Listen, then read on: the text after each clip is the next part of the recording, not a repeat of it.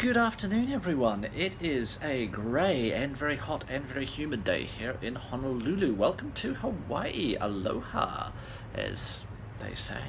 Um, the aircon is working overtime, keeping me nice and cool. I've had a lazy morning. I think I was jet lagged. I woke up in the middle of the night. I couldn't get uh, I couldn't get back to sleep. I think because we're now three hours behind where we were in Canada. So 4 a.m. here, it's 7 a.m. there. Um, so uh, I think I was just used to waking up early.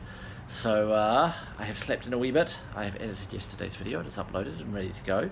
Um, I will show you the view from outside the window. You can decide whether it's as nice as it was during the night. Uh, plan for today, we are first going to get some food because I'm really hungry. Second thing we're going to go and do is go head, head up tourist information, find out what the condition is of the other islands, Maui and the Big Island especially. Uh, and then we're going to do a little bit of research uh, with them into some day trips. Um, I have a friend of mine coming to join me from the UK in about four days' time.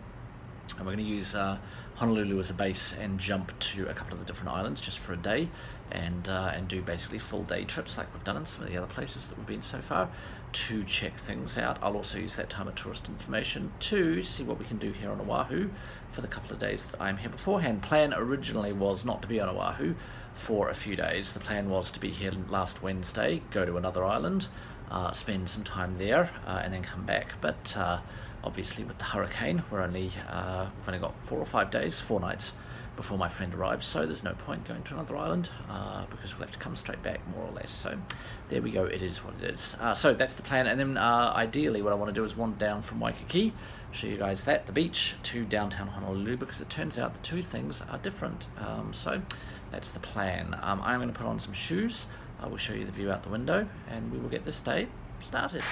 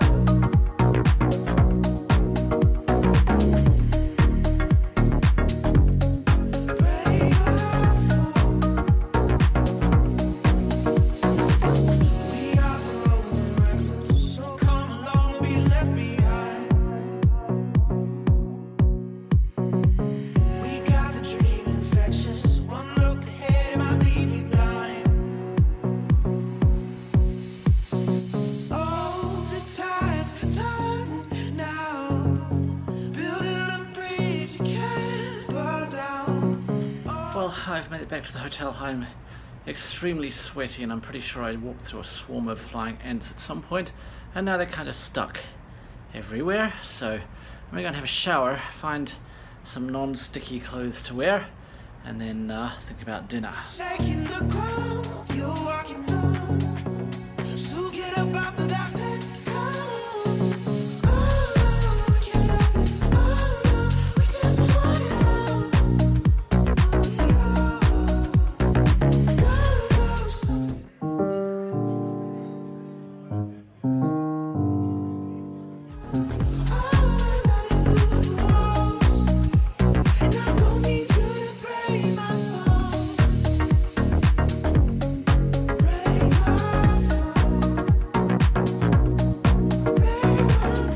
Have returned to the room and I've remembered to say goodnight to you this evening. It has been a nice day. I uh, quite enjoyed Honolulu. Um, I didn't, well, I had mixed feelings the last time I was here. Uh, all the concrete buildings looked like they were rotting away in the in the tropical kind of climate, but they seem to have either come up with a new concrete recipe or recently repainted everything because it's quite nice. Um, and the views today from uh, the uh, Diamond Head National Park were really nice. So I am happy. Uh, tomorrow uh, we have got some planning to do uh, for when my friend flies out here. We've got to finally nail down our day trips that we're going to do. Um, so we'll do some research tonight, make some phone calls tomorrow, and see uh, how everything is uh, working in the other islands. Uh, and then tomorrow we're going to go and explore, I think, downtown uh, Honolulu, but we'll tell you about that tomorrow. So for now, I'll say good night. I'm going to go and digest a gigantic burrito, and I will see you in the morning. Good night.